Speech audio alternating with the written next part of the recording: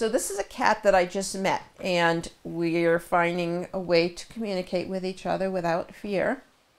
And as I am working with his back here, then I can even get a sense of how mobile the spine is and where there's areas of flatness on the spine. But mainly just in terms of palpation techniques and pressure, uh, what what I can start with is here's the pads of my fingers.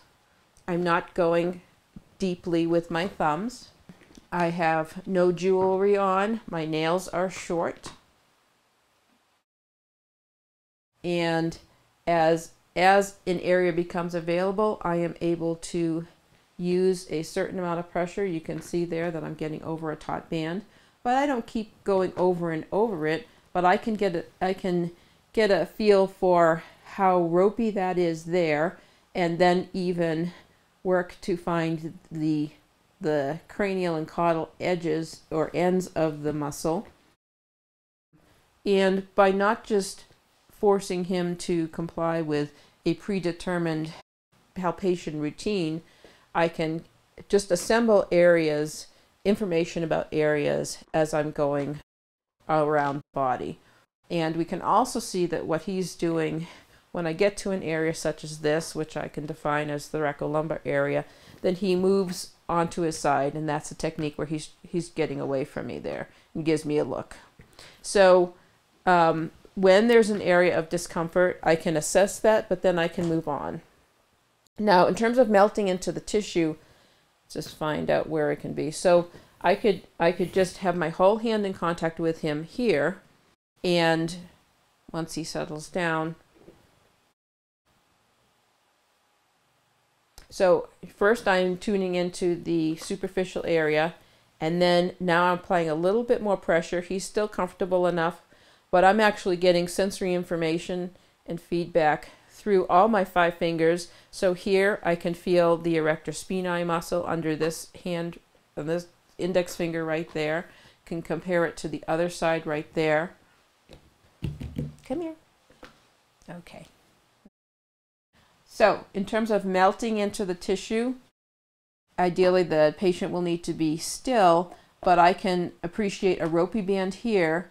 And as I just leave my hand there and apply different amounts of pressure, I can get in my mind's eye a sense of where the bony connection is with that muscle and and the full circumference of that muscle and its ropey area. So how much pressure do we need to apply? Well, in the neck here, I am able to gauge the amount of pressure. So that was a little bit too much pressure. That made him move away. But so this is open hand sensing. Looks like petting, but I'm actually getting a lot of information. He's purring, so we can feel that and hear that.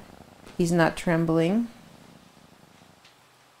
I don't know this cat, by the way no areas of heat, except maybe right in there in that spinal area. And then as we melt through the layers,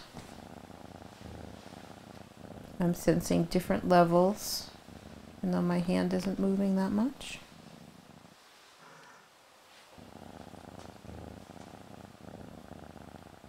So I can go from the fur down to the skin, down to the broad muscles of the spine and back, down to the erector spinae, down to bone. And I'm not putting any more pressure on there than he can tolerate.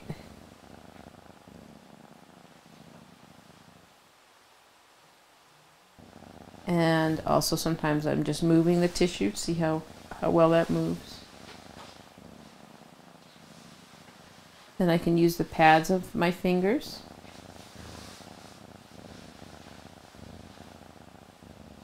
I can feel ropey bands in through here.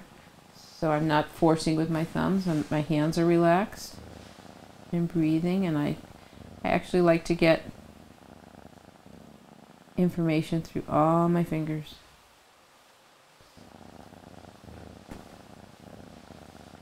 Incorporating massage if possible.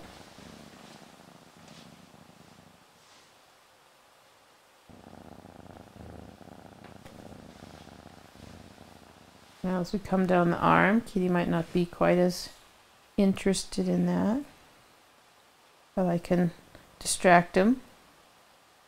Some nose rubs and feel these triceps trigger points. Latissimus dorsi, teres.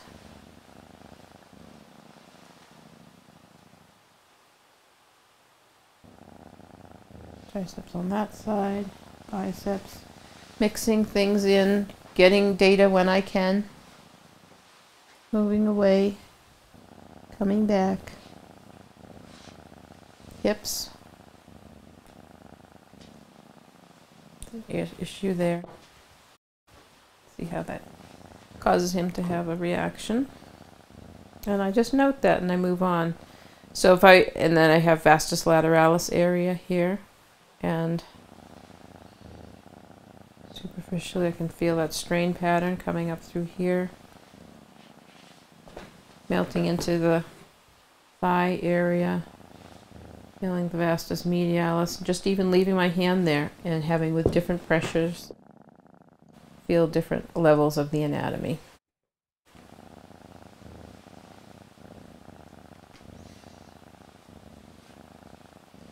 Feeling into the belly, the epigastric region. A little bit tight in there.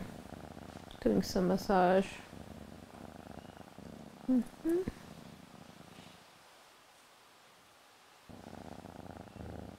Feeling general tightness there, noting that he was going to want to knit me a little bit. And the abdomen is another area where we can just lay our hands on there. Let the tissue relax. Just wait. And we're allowed in later.